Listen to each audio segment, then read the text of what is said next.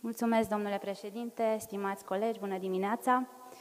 Declarația mea politică de astăzi se referă la sprijinul pe care îl acordăm din Parlament, din Guvernul României, meșteșugarilor, celor care practică meșteșuguri artizanale, artiștilor populari. 2018, așa cum știm, este un an special pentru România, dar și pentru Europa.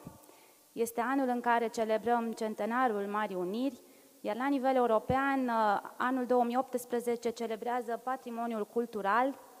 Iată deci că ne apropiem de un an în care tradițiile, istoria și tot ceea ce am moștenit trebuie să fie mai prezente decât oricând în viața noastră, în tot ceea ce facem și în tot ceea ce realizăm și în zona de politici publice, de măsuri guvernamentale, de legislație. Este deci un prilej favorabil să vorbim despre o lege dedicată meșteșugarilor. Există un proiect de lege în Comisia pentru Industrie și Servicii din Camera Deputaților în care activez în lucru.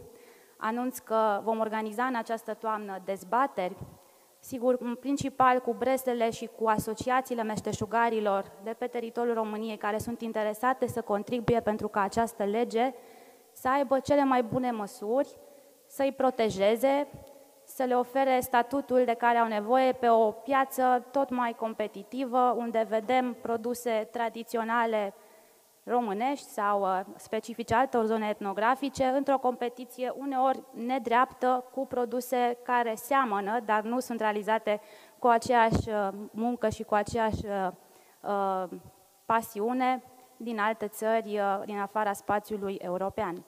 Așa încât invit toți colegii parlamentari și pe toți cei care urmăresc această declarație politică să se implice în acest proces de legiferare, de, de finalizare a legii meșteșugarilor artizanali, pentru că avem nevoie de un proiect legislativ cât mai bun și noi, cei din Parlament, ne declarăm deschiderea ca acest proiect să fie realizat într-un dialog uh, foarte, foarte bun și constructiv cu cei cărora ea li se va aplica.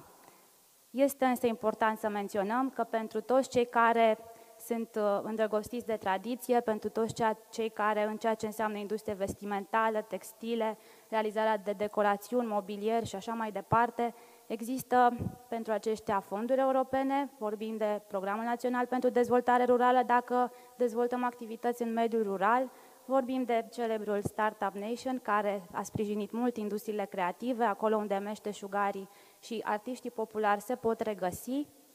și uh, bineînțeles că este la fel de important să subliniem că și în ceea ce înseamnă școală și educație va trebui în anul care vine să susținem tot ceea ce înseamnă transferul de cunoștințe dinspre generațiile uh, mai uh,